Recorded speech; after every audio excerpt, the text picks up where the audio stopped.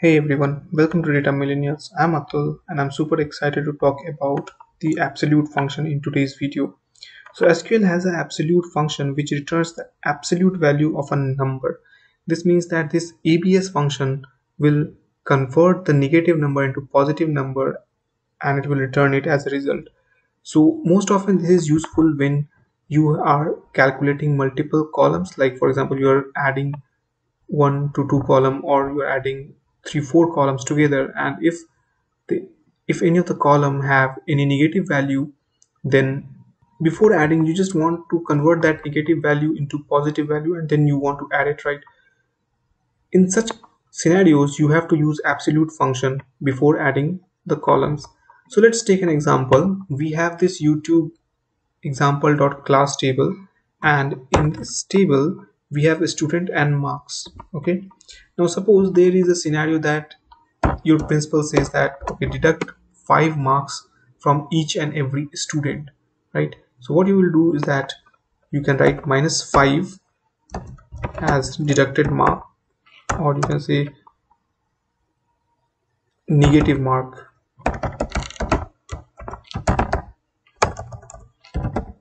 And now if I run this query you will see that we have an additional column negative mark as minus 5 and then you have to add these two right? So what you can do is that you can simply put marks plus this minus 5 okay as total mark.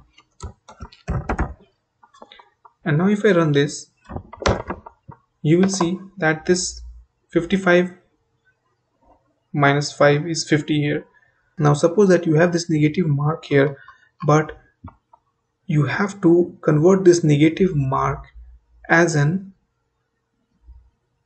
grace marks.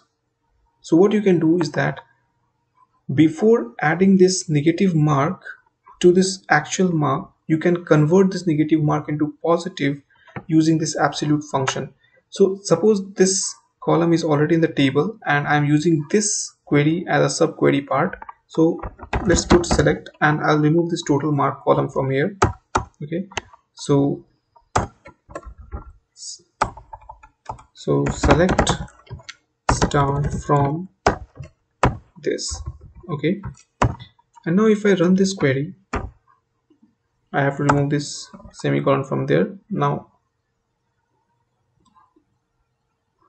okay I need to put an alias here as a now if I run this query you will have your roll number student name marks and negative marks right? Now you have to convert this negative mark as a grace mark. So what you can do is that you can simply use this absolute function and absolute function will have only one argument. That would be the column which you want to convert into positive. So i'm putting negative mark as grace marks and now if i run this you will see that the negative mark column has converted into grace marks and it is in positive now. And now if you want to add this marks with grace marks you can do it right? So if i simply put marks plus absolute of negative mark as total mark my output should be 55 plus 5 which should be 60 okay. Now if I run this query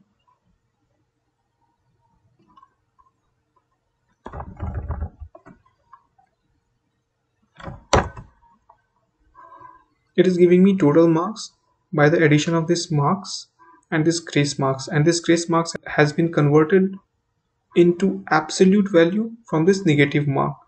So this is how basically you convert a negative value using this absolute value into the positive value.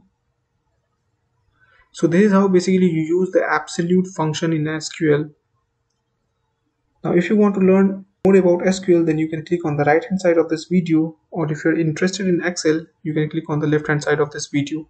Happy learning and see you in the next video.